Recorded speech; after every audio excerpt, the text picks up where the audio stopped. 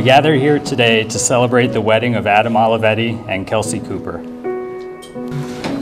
To the love of my life, Kelsey, when asked to pen my vows of love to you, it made me first think of a story I've never shared from my grandfather, Leo Olivetti Sr., or as I called him, Poppy. In grade six, we were given a list of questions to ask our grandparents to get to know their lives a little bit better. I cannot remember most of the questions save just one. What was the happiest day of your life? I asked, unsure of the answer he would give. He replied instantly, the day I married your grandmother, Tony. It wasn't so much the answer as it was the way his voice changed in that moment. He looked at me, got quiet, as if he weren't looking at me, but through me. He no longer was in his recliner. He was no longer in the same room as I was. He was back again in that moment in his mind, and he quickly came back and smiled, though no more words were said. No explanation was needed. I knew from that day, whenever I was to be married, it would be a powerful moment I could relive at any time. But how? Only you would understand this when I say that the key to all my memories and ours, our love, lies in the colors. I've often described moments we've shared, first starting with the colors. Like when I proposed to you in Georgia in our small cabin, the green of the leaves, the brown of the woods, and the stones beneath my knees, and their gray, all surrounding you in the center. When we first walked in this building, I saw the colors of the walls, their greens, their reds, their purples, like the edges of a puzzle or the frame of a picture slowly moving to the golds of the candlestick, closer to the center, you, the red of your hair, to the blue-green of your eyes, to the white of your dress. I vow to you, my love, these colors will guide me back to you, to this moment, where we now stand. Our love will see many trials and will endure for richer or for poor, for better or for worse, and I will honor and cherish them all. But when we are older, many years from now, should either of our memories fade, we can hold each other's hands as we are now and tell each other a story, a story of the colors, and we'll be right back here. This I vow to you with all of my heart. I um, I wrote my vow in pieces.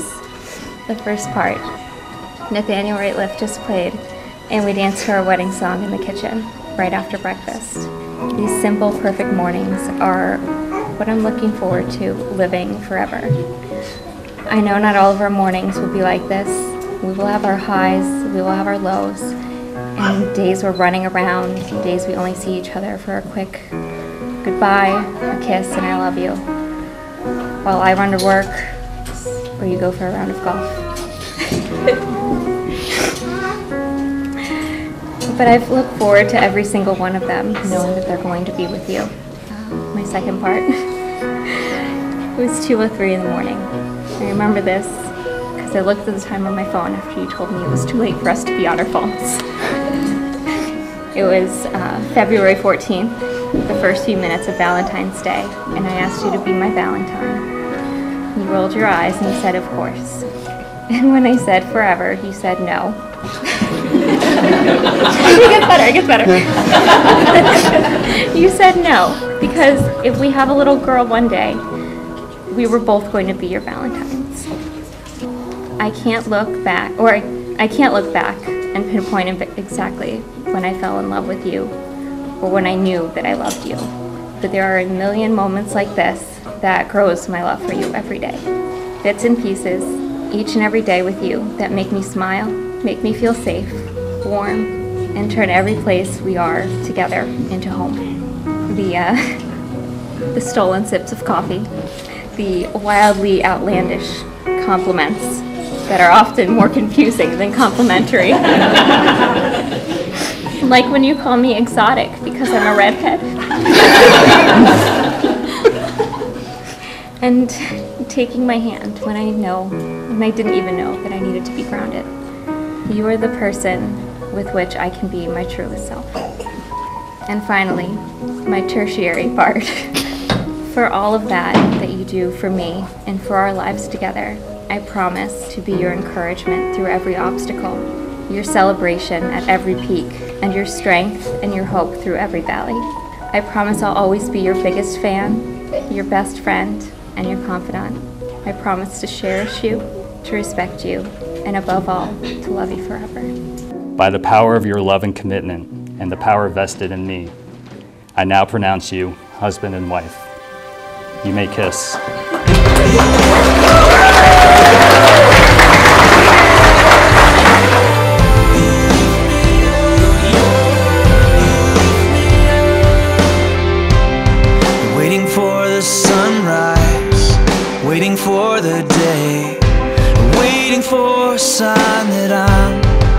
You want me to be. You know my heart is heavy and the hurt is deep. But when I feel like giving up, you're reminding me that we all fall down sometimes.